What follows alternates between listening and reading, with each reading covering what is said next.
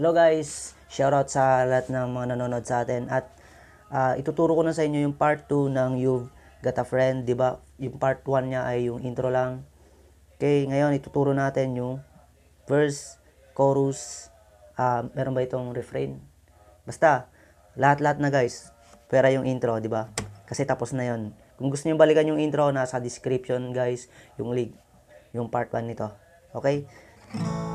Palitirahin agad natin yung verse. Nagtapos tayo sa ganito. Okay, magbo-verse na doon when you're down. Ang chord nun, E minor. Okay, sa pag-pluck nito guys ay pwedeng ah, kung marunong na kayong mag-pluck ay 'di ba naita-timing nyo naman una yung bass niya. Okay. Gaya dito sa E minor ay pwedeng ganito yung pag-pluck nyo 6 4 3 2 1 when you're down tapos B7 Okay, alam nyo siguro yung B7 guys, di ba? Yan, sa 5th string, yung middle finger nyo. Yung ring ay sa 4th string. Tapos itong hintuturo ay sa first fret ng ah, 4th string. Yan. Bale, itong ring finger nyo pala ay yung 3rd string. Okay, when you're down. Yung ginawa ko doon ay 6, 4, 3. Tapos, ah, plinak ko sabay-sabay pataas yung 1, 2, 3 na string. Ah, pwedeng ganun yon Diskarte nyo yan guys kung ah, paano pagtutug, pagtugtog yung gusto nyo. When you're down. Tapos B7 and trouble.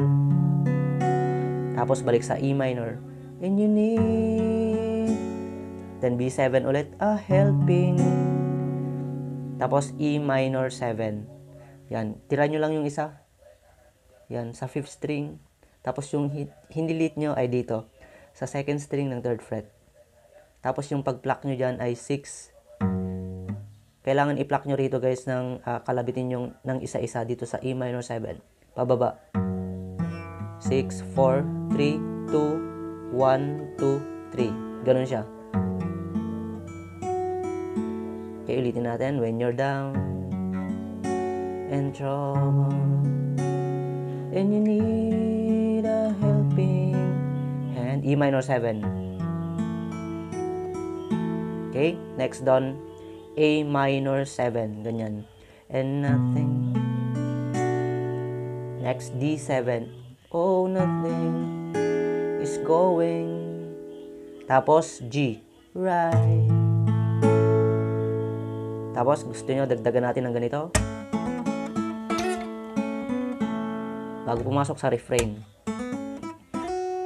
Ganito lang naman, hinammer ko yung third string sa second fret. Tapos yung second string dito sa third fret. Parang ganito siya.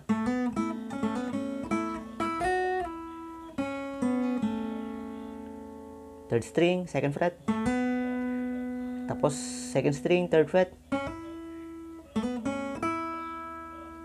Tapos dalin mo sa fifth fret. Tapos balik mo sa third fret. Then open yan. Tapos third string ulit dito. Tapos refrain. Okay? Ulitin natin yung kanyang verse. When you're down and trouble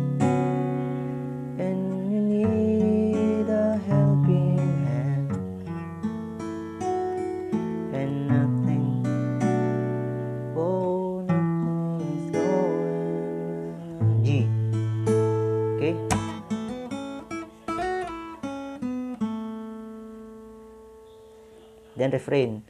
F sharp minor 7 close your eyes. Then B7 and think of me. Tapos E minor ulit and soon. Tapos B7 I will be. Then E minor 7 there. Then A minor 7 to brighten up. B minor 7 yan parang B minor lang. Alisin mo yung pinky even your darkest then D sus 4 to idagdag mo lang tong pinky okay ganito 1, 2, 3, 4. Sabay mong kinalabit yung 4th string, tapos yung 1 and 2 string. Close your eyes and think of me. And soon I will be there. Sorry, E minor 7 pala doon. Okay, to brighten up.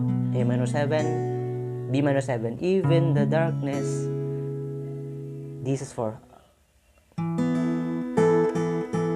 Tapos gagawin nyo to.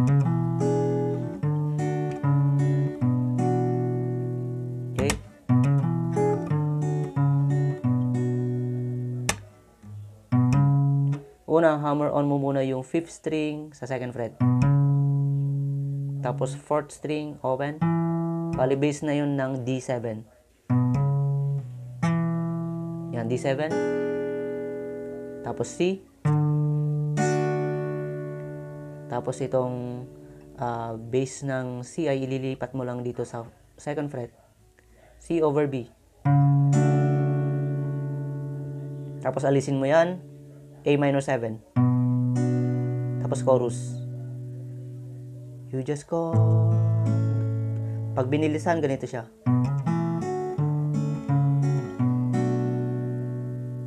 Tignan natin yung refrain niya. Close your eyes and think of me. And so, close. Tignan natin, sorry, sorry. Close your eyes and think of me.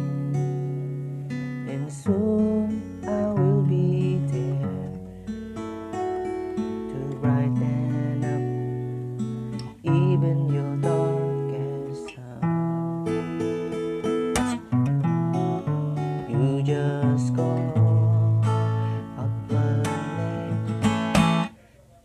Okay, sa chorus tayo ay G. You just call out my The next, G major 7. Yon. Yung first string guys, second fret. You just call G out my G major 7. Then C, and you know wherever A minor 7. Then D7, mabilis. I'll come papuntang G, running. Then G major 7. See you ag D7.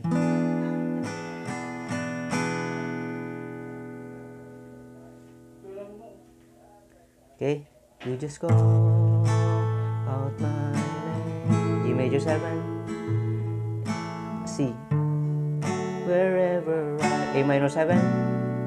D7. I'll come. G. Running. Oh yeah, G major 7. To see you again. D7. Okay, ganun lang guys ha. Okay, bali ini-strum ko lang dito. Ah, yung yung transition lang naman ng paglipat yung importante dito sa chorus niya. Pero kung gusto niya siyang semi-pluck o strum plucking ay okay na okay naman yan. You just call. Ulitin natin. G, tapos G major 7 na. You just call out my name. And you know wherever I am. A minor 7. D7 I'll come. G.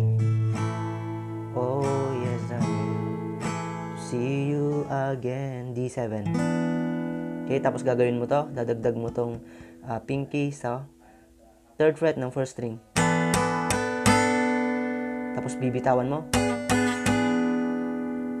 Tapos G ulit. Winter, spring, summer, or fall. G major 7. Tapos C.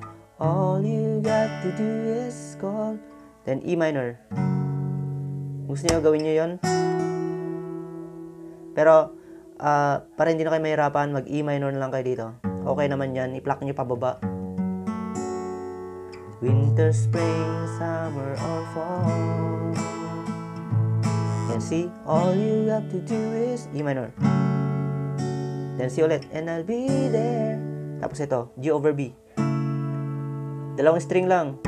Ito, base ng B. Tapos itong second string, third fret. And I'll be there. G over B. Yes, I. Then D7. You got a intro. Buuin natin guys yung kanyang ano, yung lahat ng chorus niya. Okay, sana hindi kayo naguluhan doon na. Okay, binigyan ko naman kayo ng, ano yan, yung, ng tip niya, yung mga chords niya. You just call. Dito na sa chorus guys, eh, pwedeng ganito yung posisyon ng inyong G. Para mas madali kayong makapag G major 7. Yung hintuturo lang, ilipat nyo lang sa first string ng second fret. Yan, tapos alisin mo yung pinky. Ganyan yung magiging G major 7 dyan. You just call out my name. See, and you know wherever I am, I'll come running. Oh yeah, baby, to see you again. Okay? Can G ulit. Winter, spring,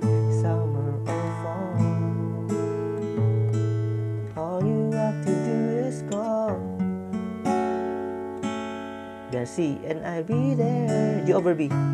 D7. Okay, then intro. You got a friend.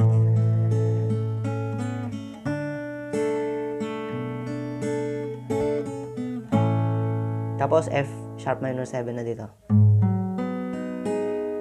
Ganon. Okay? Ga- Ganito yung itinuro nila sa ibang tutorial, guys. Kasi pero magkaiba yun, guys. Magkaiba yung intro tapos yung interlude niya. Magkaiba sa last part niya. Okay. F sharp minor 7 na doon. Pluck mo ng pababa. Then next ay yung second verse niya. Same chords pa rin naman. If the sky above you should turn out and full of clouds. Yun. Bali, E minor 7 yun guys. ah. Then A minor 7 and the old north wind D7 began to blow G. Tapos kung gusto niyo ito, yung tinuro ko kanina. Then refrain, your head together and call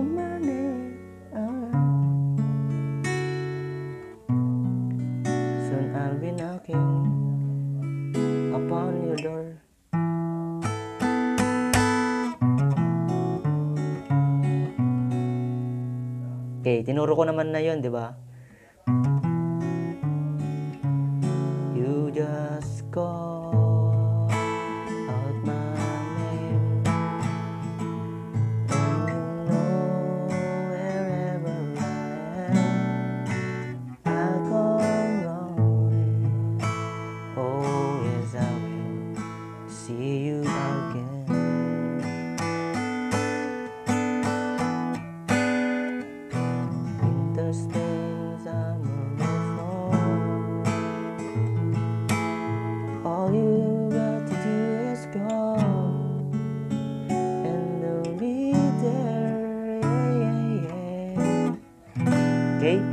Then, next part na dito. Napakadali na lang yung mga chords sa bridge niya.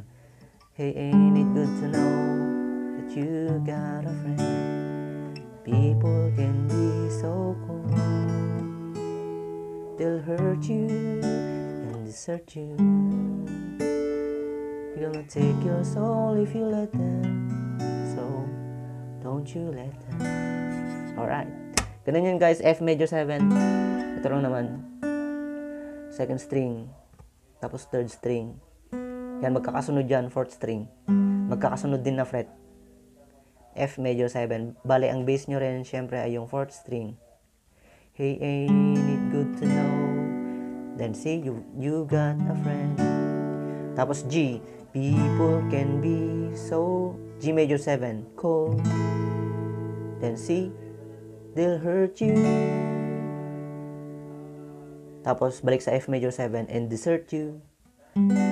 Pero idadagdag nyo rito. Idadagdag nyo itong hinilit sa first string. Okay. Pero pwede namang hindi nyo idagdag, pero mas maganda pag idagdag nyo. They'll hurt you and desert you. Then E minor. Gonna take your soul. A minor 7. If you let them. So, don't you let them. I D7. Okay, ulitin natin. Hey, need good to know that you got a friend. People can be so cold. they'll hurt you and desert you. They're gonna take your soul if you let them. Oh, don't you let them. Tapos babagalan mo yung run na ganito. Bali, ah, kahit okay na yun guys, kahit yung mga bass lang yung pinipindot mo rito, tapos i-open mo yung ah, mga nasa babang string. Pero kung kaya mo naman, mag D7 ka. Pero okay lang kahit wag mo nang pindutin sa baba.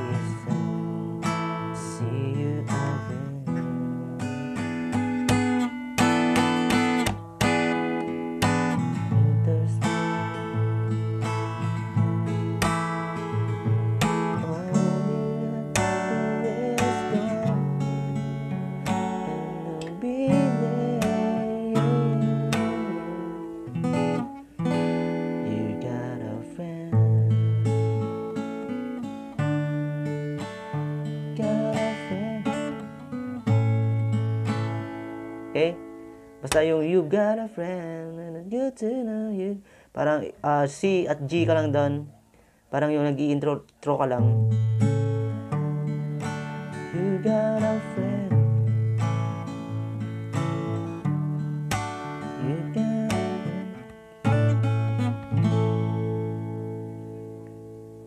Okay? Ganun lang kasimple guys yung you've got a friend at ah, hindi ko man itinu- itinuro yung pag-pluck natin ng doon sa part ng sa mga stanza na niya ay 'di ba sinabi ko na kanina depende sa inyo yan Ah, dahil ah, hindi nyo naman to pag-aaralan kung hindi na kayo masyadong marunong mag-plucking, di ba?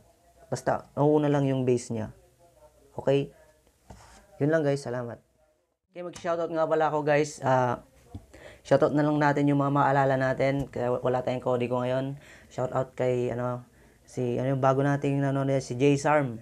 Jay Sarm, shoutout sa'yo. Tapos, si, unahin ko yung Team Milo, si Mama Lynn Official, ah, Jane Barona Vlog, Michi Tigerfield TV, Cherry Papoy's Adventure, Ate Ruby Vlog, Oxy Stab, ah, Simple Grace, sino pa ba?